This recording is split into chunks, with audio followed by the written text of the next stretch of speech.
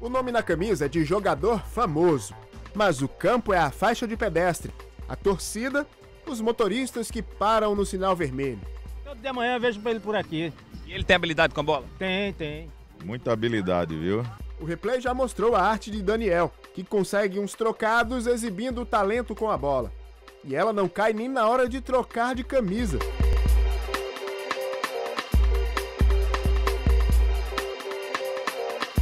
Até com uma laranja, Daniel dá show. O que pouca gente sabe é que, além de local de trabalho, a rua também já foi morada deste jovem, que veio de um circo em Gravatá tentar a vida na capital. E não foram poucas as calçadas do Recife em que ele dormiu ao relento.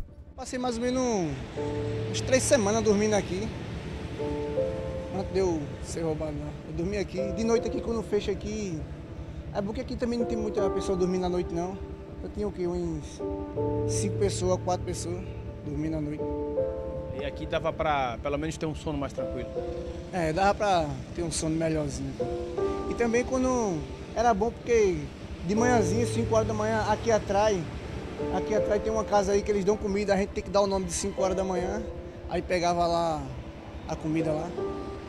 Aos poucos, a sorte de Daniel está começando a mudar. A habilidade mostrada por ele com a bola nos pés despertou a atenção de alguém que quis saber um pouco mais sobre a vida do craque das embaixadinhas. O relato de uma vida difícil e solitária comoveu seu João Luiz. No momento ele me disse que tinha perdido a mãe dele por alcoolismo, tinha um irmão que vivia nas drogas, o pai vivia com outra família, né? Aquilo ali tocou muito meu coração. E o que mais tocou no meu coração foi saber quando ele me falou que dormia na rua, sem ter um colchão, sem ter um lençol, travesseiro, dormia praticamente abandonado, foi roubado.